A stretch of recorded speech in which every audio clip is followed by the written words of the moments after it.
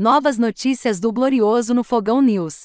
Advogado revela ligação de John Textor com o CEO da Reboque e crê em novos parceiros estratégicos. Botafogo fez os olhos dele brilharem. A entrada de John Textor, como investidor do Botafogo, vai abrir as portas do futebol brasileiro para a chegada de outros empresários estrangeiros.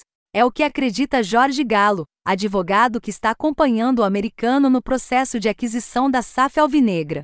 Ele citou até mesmo a ligação de Textor com Matt O'Toole, CEO da Reboque, acreditando na chegada de novos parceiros para o Glorioso. A vinda do John, acho extremamente importante para este momento, porque você consegue trazer um investidor estrangeiro, e é um cara do mundo da tecnologia. Fez fortuna e fez o nome neste mundo da tecnologia, mas já é do esporte, do futebol. É interessante ter um investidor que tem essa parte de tecnologia, é bem relacionado. Por exemplo, ele tem sociedade com o dono da Reboque, é super bem relacionado para trazer parceiros comerciais estratégicos para o Botafogo. Não é uma estrutura como a do Red Bull ou Grupo City, mas é um sócio que tem clubes em outros países. Isso é interessante para o futebol brasileiro, afirmou Galo.